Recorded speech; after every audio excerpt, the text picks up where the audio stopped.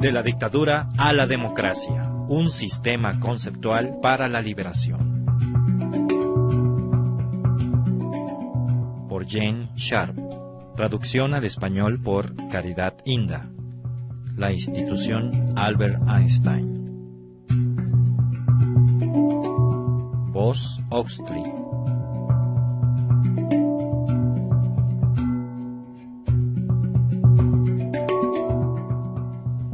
Capítulo 3 ¿De dónde se deriva el poder? Conseguir la libertad con paz, por supuesto que no es tarea fácil. Va a requerirse para ello una gran destreza estratégica, organización y planificación. Sobre todo, requiere poder. Los demócratas no pueden esperar derribar la dictadura y establecer la libertad política sin la capacidad de ejercer su propio poder en forma eficaz. Pero ¿cómo es posible esto? ¿Qué clase de poder podrá la oposición democrática movilizar para destruir la dictadura y su vasta red militar y policíaca? La respuesta se encuentra en una comprensión del poder político generalmente ignorada. Llegar a este conocimiento intrínseco no es tarea demasiado difícil. Algunas verdades fundamentales son muy sencillas. La fábula del amo de los monos. Una parábola china del siglo XIV, atribuida a Liu Ji, por ejemplo, destaca muy bien esta interpretación descuidada acerca del poder político. En el estado feudal de Chu, un viejo vivía de tener monos a su servicio. Las gentes lo llamaban Yu Gong, el amo de los monos. Todas las mañanas el viejo reunía a todos los monos en su patio y ordenaba al más viejo que condujera a los demás a la montaña a recoger fruta de los árboles y matas. La regla era que cada mono tenía que darle al viejo la décima parte de lo que recogiera. Los que no lo hacían eran brutalmente azotados. Todos los monos sufrían amargamente, pero no se atrevían a protestar. Un día, un monito les preguntó a los otros ¿Fue el viejo quien sembró los árboles y las matas? Los otros le respondieron No, brotaron solos. El monito les dirigió otra pregunta ¿No podemos nosotros coger la fruta sin permiso del viejo? Los otros replicaron Sí, todos podemos hacerlo. El monito siguió Entonces, ¿por qué tenemos que depender del viejo? ¿Por qué tenemos que servirlo? Antes que el monito hubiera terminado su discurso, todos los monos de pronto se sintieron iluminados y despertaron. Esa misma noche, al observar que el viejo se había quedado dormido, los monos rompieron las barreras del vallado donde se hallaban encerrados y destruyeron el recinto por completo. También se apropiaron de cuanta fruta el viejo tenía guardada y se la llevaron al bosque y nunca más volvieron. Al fin el viejo murió de inanición. Julie C. dice, algunos hombres en el mundo gobiernan a su pueblo mediante tretas y no por principios rectos. ¿No son estos iguales al amo de los monos? La gente no se ha dado cuenta de su embrutecimiento. Apenas se les ilumine el conocimiento, las tretas dejarán de funcionar. Los recursos que necesita el poder político. El principio es sencillo. Los dictadores requieren la ayuda de los gobernados, sin la cual no pueden ni disponer de las fuentes de poder ni conservarlas. Entre las fuentes del poder político se encuentran las siguientes. La autoridad. La creencia entre la gente de que el régimen es legítimo y que tiene el deber moral de obedecerlo. Los recursos humanos la cantidad e importancia de las personas y grupos que obedecen a los gobernantes, cooperan con ellos o los apoyan. El conocimiento y las destrezas. Los que el régimen necesita para llevar a cabo acciones específicas y que les son suministrados por las personas y grupos que cooperan con él. Los factores intangibles los factores psicológicos e ideológicos que pueden mover a la gente a obedecer y a apoyar a los gobernantes. Los recursos materiales. ¿Hasta qué punto controlan los gobernantes la propiedad o tienen acceso a ella? los recursos naturales, el sistema económico y los medios de comunicación y transporte. Y las sanciones, castigos con los que se amenaza o que se aplican a los desobedientes o a los que no colaboran, para asegurar su sumisión y cooperación, necesarias ambas para que exista el régimen y para que ponga en práctica sus políticas. Todas estas fuentes, sin embargo, dependen de la aceptación del régimen, del sometimiento y obediencia de la población al mismo y de la cooperación que le brindan innumerables personas y muchas de las instituciones de la sociedad. Estas fuentes no están garantizadas. Una plena cooperación, obediencia y apoyo harán más asequibles los recursos que el poder necesita y, en consecuencia, fortalecerán la capacidad de obrar de cualquier gobierno. Por otra parte, al negarles a los agresores y dictadores la cooperación popular e institucional, disminuye y puede anular el acceso a las fuentes de poder de las que dependen los gobernantes. Sin acceso a tales recursos, el poder de los gobernantes se debilita y finalmente se disuelve. Naturalmente, los dictadores son sensibles a las acciones o ideas que amenazan su capacidad de obrar como les dé la gana. Por lo tanto, ellos están dispuestos a amenazar y castigar a quienes los desobedezcan, les hagan huelgas o dejen de cooperar con ellos. No obstante, aquí no acaba el cuento. Ni la represión ni cuantas brutalidades se cometan siempre resultan en la recuperación del grado de sumisión y cooperación que el régimen necesita para funcionar. Si, a pesar de la represión, se pueden restringir o recortar durante un tiempo suficiente los recursos de los que depende el poder, los resultados pueden ser la incertidumbre y la confusión dentro de la dictadura. Es probable que sobrevenga entonces un notable debilitamiento de su poder. Con el tiempo, el quitarle los recursos al poder producirá la parálisis y la impotencia del régimen y, en casos muy severos, su desintegración. El poder de los dictadores se irá muriendo lenta o rápidamente de inanición política. Por lo tanto, el grado de libertad o tiranía que existe bajo cualquier gobierno es en gran medida un reflejo de la relativa determinación de los súbditos de ser libres y de la voluntad y capacidad de éstos de ofrecer resistencia a los esfuerzos que el gobierno haga por esclavizarlos.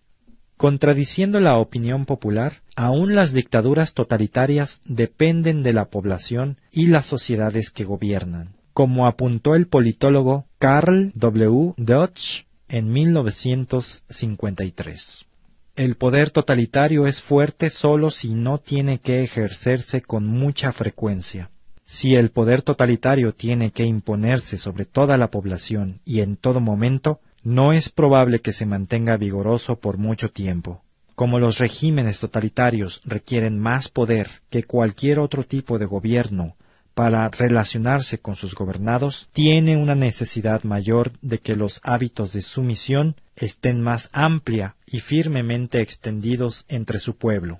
Más aún, tienen en caso de necesidad que poder contar con el apoyo activo de porciones significativas de la población. John Austin, el teórico inglés del siglo XIX, describió la situación de una dictadura que se enfrentará a un pueblo descontento. Austin argumentaba que si la mayoría de la población estaba decidida a destruir al gobierno, y se hallaba dispuesta a soportar la represión que le impusiera por ello, entonces el poder del gobierno, incluyendo a aquellos que lo apoyaban, no podría preservar al odiado régimen, inclusive si recibiera ayuda del extranjero. No se podría someter de nuevo al pueblo desafiante a la obediencia y a la sumisión permanentes, concluía Austin. Mucho antes, Nicolás Maquiavelo había explicado que el príncipe, que tiene a todo el pueblo por su enemigo, nunca puede estar seguro, y mientras mayor sea su crueldad, más débil se irá volviendo su régimen. La aplicación política de estos principios la demostraron en la práctica los heroicos noruegos que resistieron la ocupación nazi y, como se mencionó en el capítulo 1, los valientes polacos, alemanes, checos, eslovacos y muchos más que resistieron la agresión comunista y su dictadura y que finalmente contribuyeron a producir el desmoronamiento del régimen comunista en Europa. Este, por supuesto, no es un fenómeno nuevo. Los casos de resistencia no violenta se remontan por lo menos hasta el año 494 a.C., cuando los plebeyos les negaron su cooperación a sus amos, los patricios romanos. Los pueblos en Asia, África, las Américas, Australasia y las islas del Pacífico, así como en Europa, han empleado la lucha no violenta en distintos momentos. Tres de los factores más importantes para determinar hasta qué grado estará o no controlado el poder del gobierno son 1. El deseo relativo por parte de la población de imponerle límites al poder del gobierno. 2. La fuerza relativa de las organizaciones e instituciones independientes para quitarle colectivamente los recursos que necesita el poder. Y 3. La relativa capacidad por parte de la población de negarle su consentimiento y apoyo. Centros de poder democrático. Una de las características de la sociedad democrática es que existe una multitud de grupos e instituciones no gubernamentales. Ellas incluyen, por ejemplo, la familia, las organizaciones religiosas, las asociaciones culturales, clubes deportivos, instituciones económicas, sindicatos, instituciones estudiantiles, partidos políticos, pueblitos, asociaciones de colonos, clubes de jardinería, organizaciones de derechos humanos, grupos musicales, sociedades literarias y otras. Estos cuerpos son importantes porque establecen sus propios objetivos y también porque ayudan a satisfacer las necesidades de la sociedad. Además, estos cuerpos tienen un gran significado político. Suministran las bases grupales e institucionales para que la gente pueda ejercer su influencia en la sociedad y resistir la de otros grupos o del gobierno cuando éstos claramente se inmiscuyan injustamente en sus intereses, actividades y propósitos. Los individuos aislados que no son miembros de estos grupos, por lo general, se hallan incapacitados para producir un impacto significativo en la sociedad, mucho menos en el gobierno, y ciertamente no en una dictadura. Por lo tanto, si la autonomía y libertad de tales cuerpos puede ser suprimida por los dictadores, la población quedará relativamente indefensa. Además, si estas instituciones pueden ser controladas dictatorialmente por el poder central o sustituidas por otras bajo control de aquel, podrán ser utilizadas para controlar tanto a los miembros individuales de éstas como a las áreas correspondientes de la sociedad. No obstante, si la autonomía y libertad de estas instituciones civiles independientes fuera del control gubernamental se pueden mantener o recuperar, éstas serán de suma importancia para la aplicación del desafío político. El rasgo común en los ejemplos citados, donde las dictaduras han sido desintegradas o debilitadas, ha sido la valiente aplicación masiva del desafío político por la población y sus instituciones. Como hemos afirmado, estos centros de poder sirven de bases institucionales desde las cuales la población puede ejercer presión o resistir los controles dictatoriales. En el futuro serán una base estructural indispensable para una sociedad libre. El crecimiento continuado y la independencia de las mismas, por consiguiente, es a menudo el requisito previo para el triunfo de una lucha de liberación. Si la dictadura ha tenido éxito en destruir o controlar los cuerpos independientes de la sociedad, será importante para los que ofrezcan resistencia crear nuevos grupos sociales e instituciones independientes o tratar de recuperar el control de los cuerpos sociales supervivientes o de los parcialmente controlados. Durante la Revolución húngara de 1956 al 57, apareció una multitud de consejos de democracia directa, que llegaron a juntarse inclusive para establecer durante varias semanas todo un sistema federal de instituciones y gobierno. En Polonia, durante las postrimerías de 1980, los trabajadores mantuvieron sindicatos ilegales de solidaridad y, en algunos casos, tomaron el control de los sindicatos oficiales dominados por los comunistas. Algunos de estos procesos institucionales pueden tener consecuencias políticas muy importantes. Por supuesto, nada de esto significa que sea fácil debilitar o destruir una dictadura, ni que cualquier intento de hacerlo tendrá éxito. Desde luego, no quiere decir que la lucha estará libre de víctimas, porque los que todavía estén sirviendo a la dictadura van a contraatacar en un esfuerzo por obligar a la población a regresar a la cooperación y la obediencia. Sin embargo, esta nueva percepción del poder significa que la desintegración deliberada de una dictadura sí es posible. Las dictaduras, en particular, tienen características específicas que las hacen vulnerables al desafío político diestramente implementado. Examinemos con más detalle estas características. De la dictadura a la democracia, un sistema conceptual para la liberación.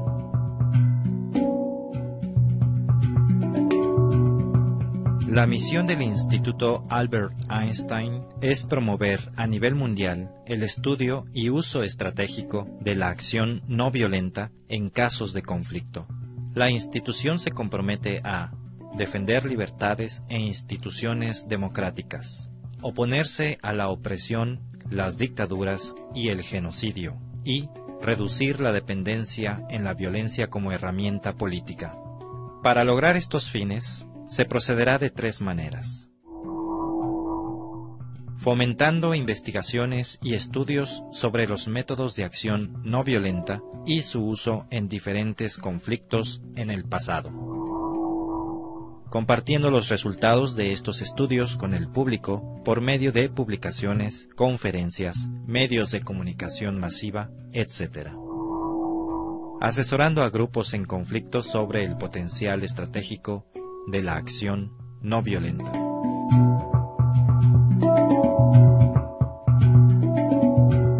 De la dictadura a la democracia, un sistema conceptual para la liberación.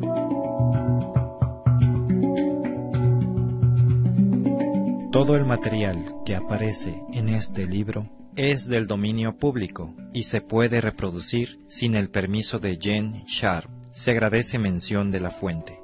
Primera impresión, diciembre del 2003. De la dictadura a la democracia, se publicó primero en Bangkok en 1993 por el Comité para la Restauración de la Democracia en Birmania, conjuntamente con Keith Giant, el periódico de la nueva era. Desde entonces se ha traducido a más de ocho idiomas y se ha publicado en Serbia, Indonesia y Tailandia, entre otros países de Albert Einstein Institution, 427 Newbury Street, Boston, Massachusetts, Estados Unidos de Norteamérica. Sitio oficial www.aeinstein.org. ISBN 1-880813-130.